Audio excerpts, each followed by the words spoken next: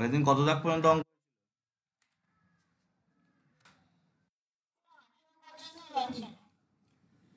তাহলে উনিশ। উনিশে বলেছে এমসিকিউ এমসিকিউ এর এক দাগ। একটি ঘড়ির ঘণ্টার কাঁটা ও মিনিটের কাঁটার গতিবেগের অনুপাত নির্ণয় করতে হবে। তাহলে ঘড়ির ঘণ্টার কাঁটা, ঘড়ির ঘণ্টার কাঁটা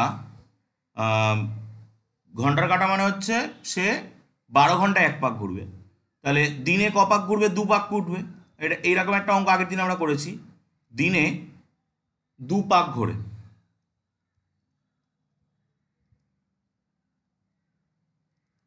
অতএব একদিনে অতিক্রম করে দুই পাক আর এক পাকে হচ্ছে two pi r, two into two pi r. ঘড়ির মিনিটের কাটা দিনে ঘড়ির মিনিটের কাটা এক ঘন্টায় এক পাক ঘোরে তাহলে চব্বিশ ঘন্টায় চব্বিশ পাক ঘোরে চব্বিশ পাক ঘোরে অতএব একদিনে অতিক্রম করে। চব্বিশ গুণ টু পাই আর অতএব তাহলে অনুপাত কত? গতিবেগের অনুপাত। গতিবেগের অনুপাত। প্রথমে ওরা দিয়েছে ঘণ্টার কাটা। Two into two pi r is two চব্বিশ into two pi r two pi r two pi r কেটে গেল, দুই দিয়ে চব্বিশ কাটলে বারো, সমান সমান এক ইস টু বারো। অপশান এ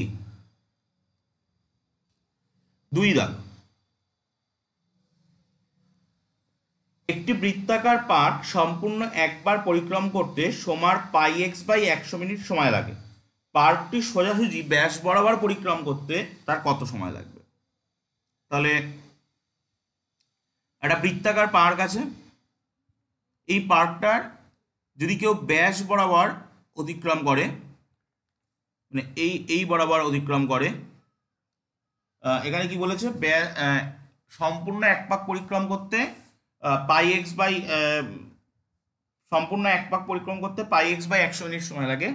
তাহলে ব্যাস বরাবর পরিক্রম করতে কত সময় লাগবে? তো আমি পার্কের ব্যাসার্ধটাকে ধরে নিই একটা কিছু ধরে নিচ্ছি। আর ধরি পার্কের ব্যাসার্ধ আর একক এরা কিছু দেয়নি, তা আর একক ধরছে। অতএব পরিধি কত? পরিধি হচ্ছে টু পাই আর একক। এই টু পাই আর যেতে ওর সময় লাগছে সময় সময় লাগছে পাই এক্স বাই একশো মিনিট। অতএব সমার গতিবেগ গতিবেগ, গতিবেগের ফর্মুলা কি ছিল? এস ইকাল টু ভিটি মানে v equal to s by t অতিক্রান্ত দূরত্ব বাই সময়। অতিক্রান্ত দূরত্ব কত? টু পাই আর আর সময় কত? সময় হচ্ছে পাই এক্স বাই একশো। তাহলে সমান সমান টু পাই আর গুণ একশো বাই পাই এক্স পাই পাই কেটে গেল। তাহলে কত আসলো? দুশো আর বাই এক্স একক প্রতি মিনিট। এটা হলো সমার গতিবেগ। এবার সমা কি করেছে? ব্যাস বরাবর অতিক্রম করেছে। তো ব্যাস কত? অতএব পার্কের ব্যাস, ব্যাসার্ধের ডবল দুই গুণ ব্যাসার্ধ টু আর একক। অতএব ব্যাস বরাবর ব্যাস বরাবর যেতে সময় লাগবে। সময় সূত্র কি? সময় যদি টি বের করতে চাই t equal to s by v অতিক্রান্ত দূরত্ব বাই গতিবেগ। অতিক্রান্ত দূরত্ব হচ্ছে টু আর আর গতিবেগ হচ্ছে দুশো আর বাই এক্স তো কত হচ্ছে টু আর গুণ এক্স বাই দুশো আর আর আর কেটে গেল। দুই দিয়ে কাটলে একশো, তাহলে এক্স বাই একশো মিনিট। এক্স বাই একশো মিনিট। অপশান বি এবার যাব তিন দাগের অঙ্কে। একটি বৃত্ত একটি বর্গক্ষেত্রে অন্তর্লিখিত। একটা বৃত্ত একটা বর্গক্ষেত্রের মধ্যে অন্তর্লিখিত মানে একটা বর্গক্ষেত্রের মধ্যে একটা বৃত্ত আছে। বর্গক্ষেত্রের বাহুর দৈর্ঘ্য দশ সেমি হলে বৃত্তের ব্যাসার্ধের দৈর্ঘ্য কত? তো আমরা একটা বৃত্ত, একটা বর্গক্ষেত্র অন্তর্লিখিত আমি এটা প্রথমে একটা বর্গক্ষেত্র আঁকি, এটা হলো একটা বর্গক্ষেত্র। এই বর্গক্ষেত্রের মধ্যে একটা বৃত্ত আছে। এই হলো সেই বৃত্ত।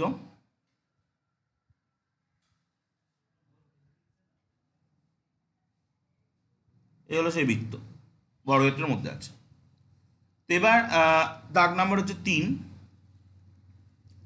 তো এই বৃত্ত এই বর্গক্ষেত্রের বাহুর দৈর্ঘ্য দিয়ে দিচ্ছে দশ সেমি। এই বর্গক্ষেত্রটার বাহুর দৈর্ঘ্য দশ সেমি। তাহলে ছবি দেখে তুই বুঝতে পারছিস যে এই বর্গক্ষেত্রটা, এই বৃত্তটার যে ব্যাস, সেটাও দশ সেমি। এই হলো ব্যাস। তাহলে ব্যাসটা হচ্ছে দশ সেমি। তাহলে চিত্র অনুযায়ী, চিত্রানুযায়ী বর্গক্ষেত্রের বাহুর দৈর্ঘ্য সমান সমান বৃত্তের ব্যাস, অর্থাৎ বৃত্তের ব্যাস কত? বৃত্তের ব্যাস হচ্ছে বর্গক্ষেত্রের বাহুর দৈর্ঘ্য দশ দশ সেমি। আমাকে কি বের করতে দিয়েছে? বৃত্তের ব্যাসের দৈর্ঘ্য কত? বৃত্তের ব্যাসের দৈর্ঘ্য বেরিয়ে গেল দশ সেমি, অপশনে। বর্গক্ষেত্রের বাহুর দৈর্ঘ্য যা? বৃত্তের ব্যাস তাই। চার দাগ। একটি বর্গক্ষেত্র, একটি বৃত্ত, একটি বর্গক্ষেত্রে পরিলিখিত। পরিলিখিত মানে বাইরে দিয়ে যাবে। মানে বৃত্ত থাকবে বাইরে, বর্গক্ষেত্র থাকবে ভিতরে। তো আমাকে পেজ স্টল করতে হবে। এবার আমি চার দাগে যাব, যেখানে একটা বৃত্ত, একটা বর্গক্ষেত্রের চারিদিক থেকে থাকবে। সেখানে বর্গক্ষেত্রের বাহুর দৈর্ঘ্য হচ্ছে পাঁচ সেমি, বৃত্তের ব্যাস কত? তো চলি। তাহলে এবার বৃত্ত আছে বাইরে তার ভিতরে বর্গক্ষেত্র এটা আয়তক্ষেত্র মতো হয়ে গেল, যতটা হবে এই। ঠিক আছে? তো এবার দাগ নাম্বার হচ্ছে চার। এই বর্গক্ষেত্রটার বাহুর দৈর্ঘ্য পাঁচ সেমি। তো আমরা যদি ছবি অনুযায়ী দেখি, তাহলে এইটা হচ্ছে বর্গক্ষেত্রের কর্ণ। এই কর্ণটা কিন্তু বৃত্তের ব্যাস হবে। তাহলে চিত্র অনুযায়ী চিত্র অনুযায়ী বর্গক্ষেত্রের বৃত্তের ব্যাস হবে, বৃত্তের ব্যাস সমান সমান বর্গক্ষেত্রের কর্ণ। তাহলে বৃত্তের ব্যাস কত? বৃত্তের ব্যাস সমান সমান বর্গক্ষেত্রের কর্ণ হচ্ছে কর্ণের থেকে সূত্র কি? বাহু root two five root two বাহু হচ্ছে ফাইভ রুট টু তাহলে বৃত্তের ব্যাস হবে ফাইভ রুট টু সেন্টিমিটার বর্গক্ষেত্রের কর্ণের দৈর্ঘ্যের সূত্র হচ্ছে বাহু রুট টু বর্গ ক্ষেত্রের কর্ণ সমান সমান বাহু রুট টু এটা হচ্ছে সূত্র। এই সূত্রটা আমরা আগে একটা চ্যাপ্টারে গিয়ে পাবো। তো তাহলে অপশান কোনটা আসছে? ফাইভ রুট টু সেমি মানে অপশান এ দেন আমরা যাব পাঁচ দাগ। পাঁচ দাগ বলছে একটি বৃত্ত বৃত্তাকার বলয় হুম।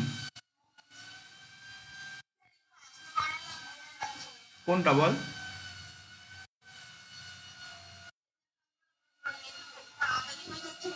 কোন অঙ্কটা?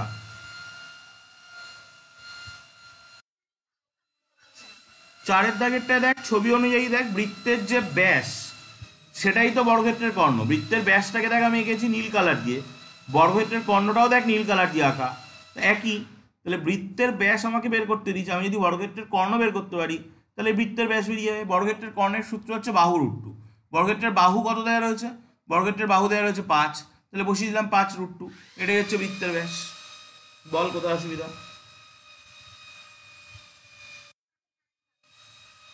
তো, পাঁচ দাগ। একটি বৃত্তাকার বলয় পাঁচ সেমি চওড়া।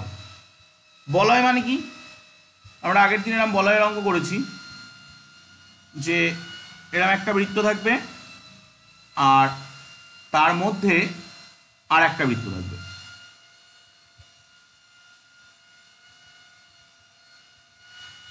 এরকম। তো এই বৃত্তাকার বলয়টা পাঁচ সেন্টিমিটার চওড়া। পাঁচ সেন্টিমিটার চওড়া মানে কি? এখান থেকে এইটুকুনি হচ্ছে পাঁচ। তাহলে এই বৃত্তাকার বলয়ের বহির্ব্যাসার্ধ কোনটা? এই বৃত্তাকার বলয়ের বহির্ব্যাসার্ধ বলতে বোঝাবে এইটাকে। আর এই বৃত্তাকার বলয়ের অন্তর্ব্যাসার্ধ কোনটা? অন্তর্ব্যাসার্ধ বলতে বোঝাবে এইটাকে। এই বহির্ব্যাসার্ধ আর অন্তর্ব্যাসার্ধের পার্থক্য কত হবে? তাহলে এই বলয়টা যতটা চওড়া ততটাই বহির্ব্যাসার্ধ অন্তর্ব্যাসার্ধের পার্থক্য। তো অতএব বহির্ব্যাসার্ধ বহির্ব্যাসার্ধ ও অন্ত ব্যাসার্ধের পার্থক্য কত হবে? যতটা বৃত্তাকার বলয়টা চওড়া, ততটাই। সেটা হচ্ছে পাঁচ সেমি চওড়া। তাহলে পার্থক্যটা হবে পাঁচ সেমি অপশান ওকে এবার যাব আমরা কুড়ি দাগ। কুড়ি দাগে পাঁচটা অঙ্ক আছে। প্রথম অঙ্ক বলছে, একটি অর্ধবৃত্তের পরিসীমা ছত্রিশ সেমি, অর্ধবৃত্তের ব্যাসের দৈর্ঘ্য তাহলে আমাদের কাছে একটা অর্ধবৃত্ত আছে। এটা হলো পুরনো বৃত্ত আমরা যদি এর থেকে অর্ধেকটা কেটে নিই, তাহলে হয়ে যাবে আমাদের অর্ধবৃত্ত। এই হলো অর্ধবৃত্ত। অর্ধবৃত্তের এটা জুড়ে দিতে হবে। এই এই অর্ধবৃত্তের, হুম, বল। কোনটা বল?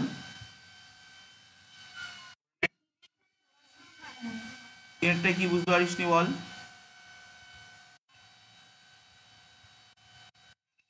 ছবিতে দেখ। যে এই বৃত্তের যা বর্গক্ষেত্রের যা বাহুর দৈর্ঘ্য এই বর্গক্ষেত্র এই বৃত্তটার ব্যাসার্ধও তাই। বর্গক্ষেত্রের বাহুর দৈর্ঘ্যটা চারপাশে যতটা হবে, মাঝখানেও ততটা হবে। তো বৃত্তের ব্যাসার্ধ যেটা, বর্গক্ষেত্রের বাহুর দৈর্ঘ্য সেটা। বর্গক্ষেত্রের বাহুর দৈর্ঘ্য কত দেওয়া আছে? দশ। বৃত্তের ব্যাস কত? দশ।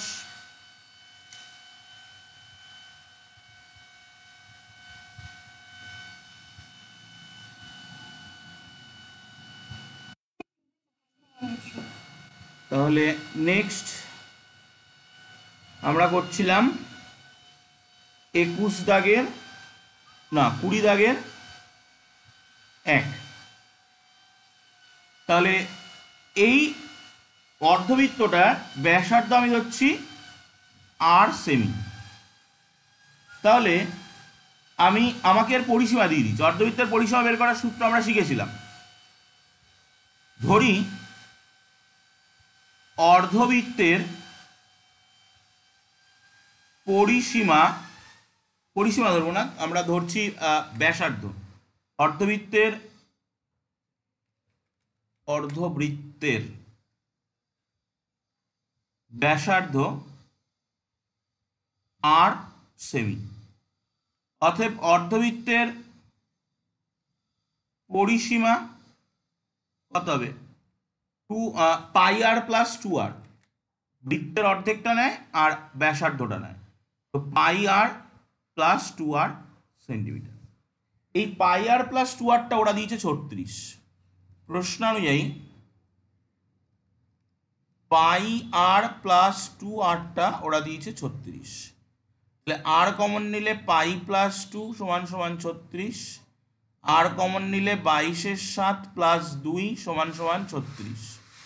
তাহলে আর সাত লসাগু, বাইশ প্লাস সাত দুগুণি চোদ্দ সমান সমান ছত্রিশ, তাহলে কত আসছে? আর বাইশ আর চোদ্দ যোগ করলে কত হয়? চার দুই ছয়, তিন এক ছত্রিশ বাই সাত সমান সমান ছত্রিশ। দুপাশ থেকে ছত্রিশ ছত্রিশ কেটে গেল। কোনাকুনি গুণ করলে আর এর মান কত আসছে? আর সমান সমান সাত সেমি আমাকে কি বের করতে দিয়েছে? অর্ধবৃত্তের ব্যাস। আমি ব্যাসার্ধ ধরেছিলাম আর। অতএব ব্যাস সমান সমান দুই গুণ আর সমান সমান দুই গুণ সাত, সমান সমান চোদ্দ সেমি। তাহলে ব্যাস বেরোলো চোদ্দ সেমি। তারপরে কুড়ির দাগের দুই। কি বলেছে? একটি ঘড়ির মিনিটের কাটার দৈর্ঘ্য সাত সেমি। নব্বই ডিগ্রি কোণে ঘুরতে মিনিটের কাটা কত দৈর্ঘ্য ঘুরবে? তাহলে আমরা ছবি আঁকবো। তাহলে নেক্সট পেয়ে যাই।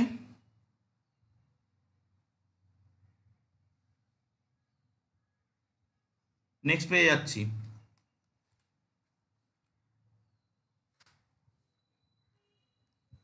তাহলে একটা ঘড়ি,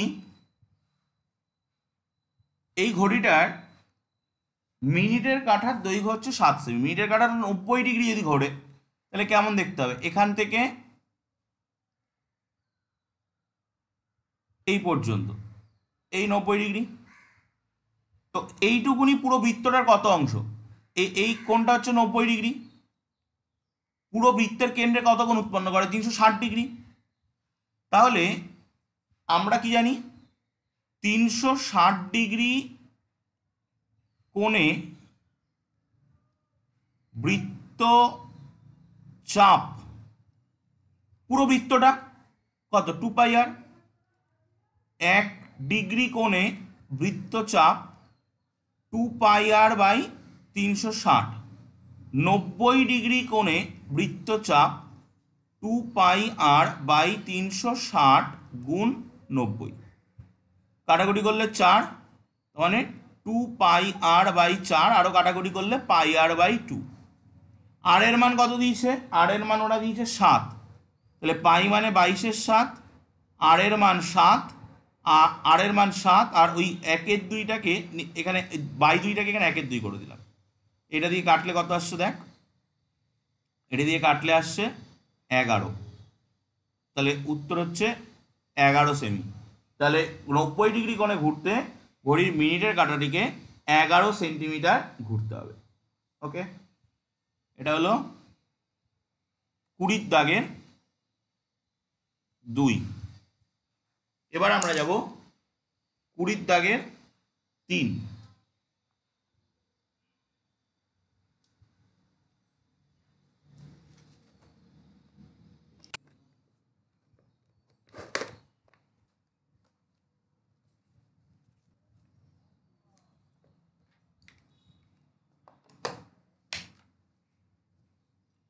কুড়ির দাগের তিন কি বলছে? বর্গক্ষেত্রের অন্তর্বৃত্ত পরিবৃত্তের ব্যাসার্ধের দৈর্ঘ্যের অনুপাত কত? তো পেজ স্ক্রল করছি। তাহলে একটা বর্গক্ষেত্র, তার একটা অন্তর্বৃত্ত, তার একটা পরিবৃত্ত। তাহলে এই হলো একটা বর্গক্ষেত্র। আমি আগে পরিবৃত্তটা আঁকি। এই হলো একটা পরিবৃত্ত। এর ভিতরে থাকবে একটা বর্গক্ষেত্র। এর ভিতরে এই একটা বর্গক্ষেত্র এই, তার ভিতরে একটা অন্তর্বৃত্ত। এই হলো তার ভিতরে একটা অন্তর্বৃত্ত।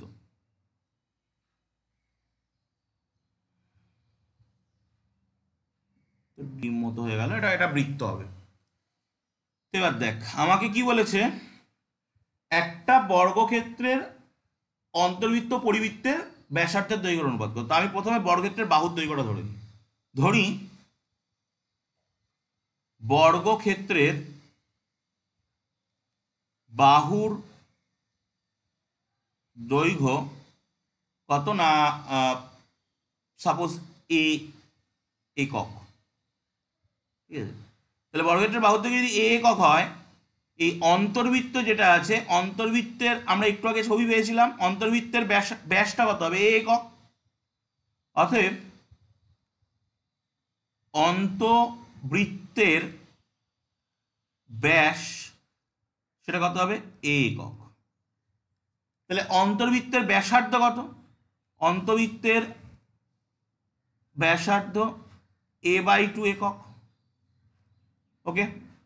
অন্তবৃত্তের ব্যাসার্ধ এ বাই টু একক হলো, এবার আমি পরিবৃত্তের ব্যাসার্ধে যাব। তো আমি যদি পরিবৃত্তের ব্যাসের দিকে তাকাই, তাহলে এইটা হচ্ছে পরিবৃত্তের ব্যাস, এইটা। যেটা হচ্ছে বর্গক্ষেত্রটার একটা কর্ণ। তাহলে আমাকে বর্গক্ষেত্রের কর্ণ বের করতে হলে এই পরিবৃত্তের ব্যাস পেয়ে যাব। তো পরিবৃত্তের পরিবৃত্তের ব্যাস সমান সমান বর্গক্ষেত্রের কর্ণ। এই এই জিনিসগুলো কিন্তু আমরা একটু আগে দুটো প্রশ্নে আলাদা আলাদাভাবে পেয়েছি। অতএব পরিবৃত্তের ব্যাস কত? বর্গক্ষেত্রের কর্ণের সূত্র হচ্ছে বাহু রুট টু একটু আগে লিখেও দিয়েছিলাম এ রুট টু একক। তাহলে পরিবৃত্তের ব্যাসার্ধ কত? পরিবৃত্তের ব্যাসার্ধ হচ্ছে a root two by two একক। তাহলে পরিবৃত্তের ব্যাসার্ধ বের করে নিয়েছি অন্তবৃত্তের ব্যাসার্ধ বের করে নিয়েছি, এবার আমরা বের করব এদের অনুপাত। অতএব প্রথমে দিয়েছে অন্তর্বৃত্ত অন্তর্বৃত্ত ও পরিবৃত্তের ব্যাসার্ধের অনুপাত। ব্যাসার্ধের অনুপাত।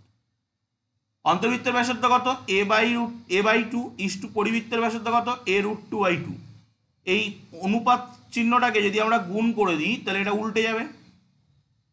দুই দুই কেটে যাবে এ কেটে যাবে, থাকবে ওয়ান বাই রুট টু তার মানে আসছে one is two root two এটা হলো অনুপাত।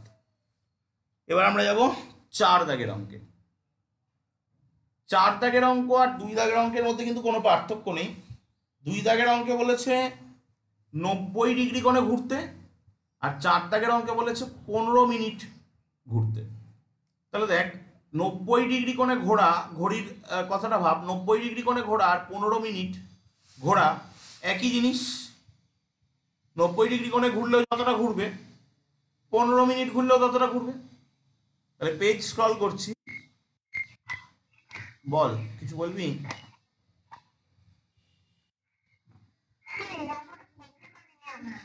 ঠিক আছে করে নে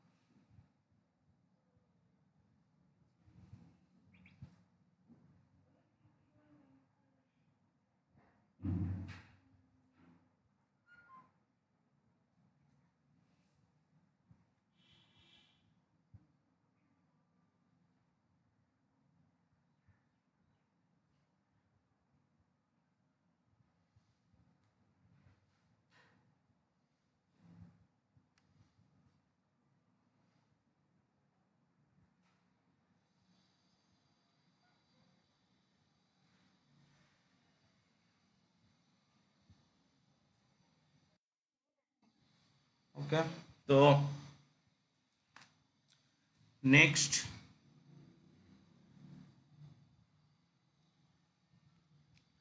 একটা ঘড়ির পনেরো মিনিট যদি ঘুরতে হয়, তাহলে এখান থেকে এই এই হচ্ছে পনেরো মিনিট। তাই একই নব্বই ডিগ্রি। তাহলে আমরা পুরো এক ঘণ্টা ঘোরা মানে এক পাক ঘোরা মানে ষাট ডিগ্রি মানে ষাট মিনিট। ষাট মিনিট এ ঘোরে কত, কতটা? Two pi r. এক মিনিটে ঘোরে টু পাই আর বাই ষাট। পনেরো মিনিট এ ঘোরে টু পাই আর বাই ষাট গুণ পনেরো। কাটাকুটি করলে চার, কাটাকুটি করলে দুই। তাহলে কত আসছে? পাই আর বাই দুই। তো তাহলে কত? ওয়ান বাই দুই পায়ের মান বাইশের সাত আর এর মান সাত। কাটাকুটি কর। উত্তর আসছে এগারো সেমি। তাহলে ঘড়ির মিনিটের কাটা কতটা ঘুরবে? এগারো সেমি ঘুরবে।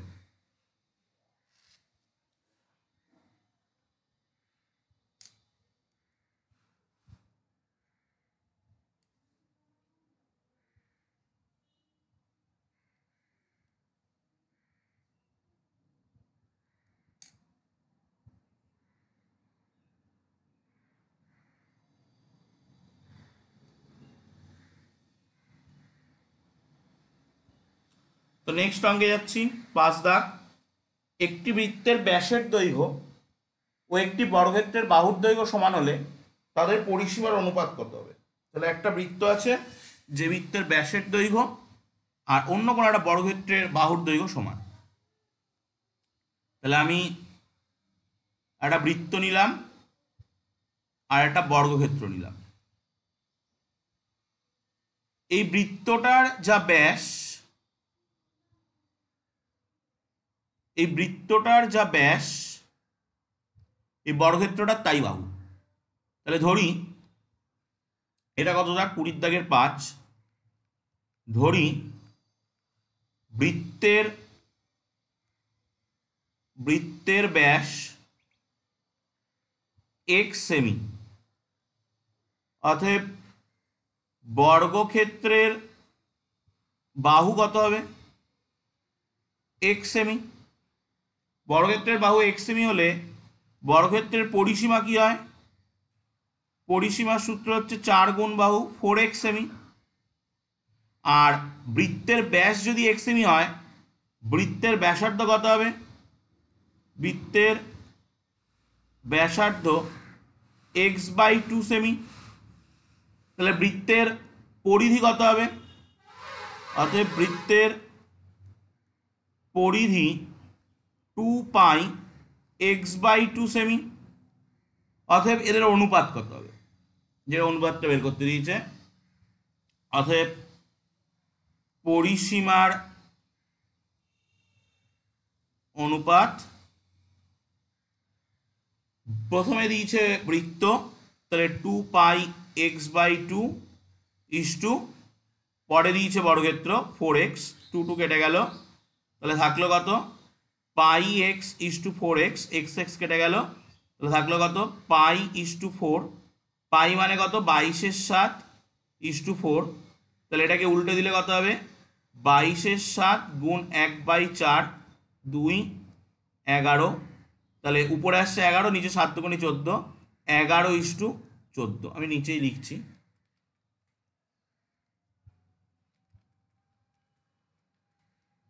এটাকে গুণ করলে আসছে এগারো বাই সাত দুগুণি চোদ্দ মানে এগারো ইস টু চোদ্দ। পুরোটা করে নে। বল কোনো অসুবিধা আছে কিনা? তাহলে আমাদের এই চ্যাপ্টারটা শেষ হয়ে গেল।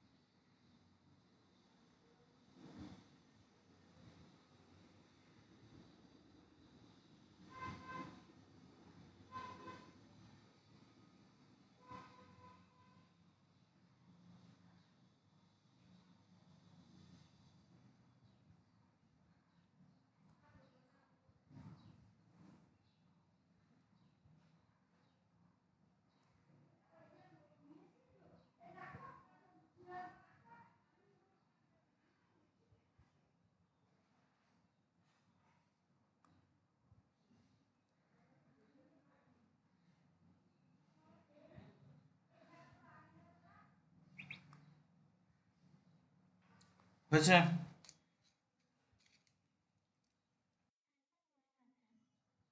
Deer complete